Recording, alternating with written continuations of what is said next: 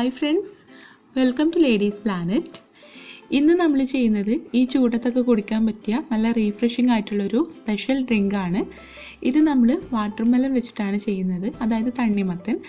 ഈ തണ്ണിമത്തൻ വെച്ചിട്ട് വളരെ ടേസ്റ്റി ആയിട്ട് ചെയ്യാൻ പറ്റുന്ന ഒരു ഡ്രിങ്കാണിത് പാലൊന്നും ചേർക്കാതെ വളരെ സിമ്പിളായിട്ട് ചെയ്യുന്ന ഒരു മെത്തേഡാണ് കാണിക്കുന്നത്. അപ്പോൾ നമുക്ക് എങ്ങനെയാണ് ഈ തണ്ണിമത്തൻ കൊണ്ടുള്ള ജ്യൂസ് തയ്യാറാക്കുന്നത് നോക്കാം. അപ്പോൾ ഈ ഒരു തണ്ണിമത്തൻ ജ്യൂസ് ഉണ്ടാക്കാൻ വേണ്ടിയിട്ട് ഞാനിവിടെ രണ്ട് കപ്പ് തണ്ണിമത്തന്റെ ആണ് എടുത്തിട്ടുള്ളത്. ഇത് കുരുവൊക്കെ കളഞ്ഞെടുത്തതാണ്. കുരുവോട് കൂടിയിട്ടാണ് നമ്മളിത് അടിച്ചെടുക്കുന്നെങ്കിലും കുഴപ്പമൊന്നുമില്ല. പക്ഷേ അത് കുറേ നേരം വെക്കുമ്പോൾ ഒരു കയ്പ്പ് രുചി വരാറുണ്ട്.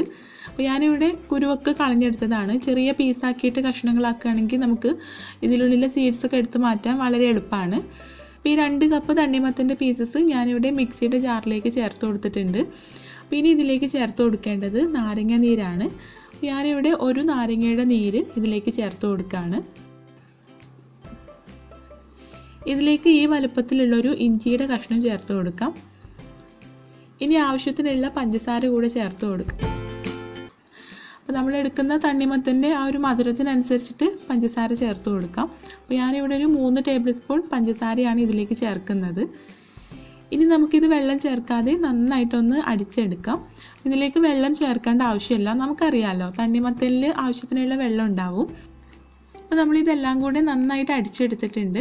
ഇനി നമുക്കിത് അരിച്ചെടുത്ത് ഗ്ലാസ്സിലേക്ക് മാറ്റാം.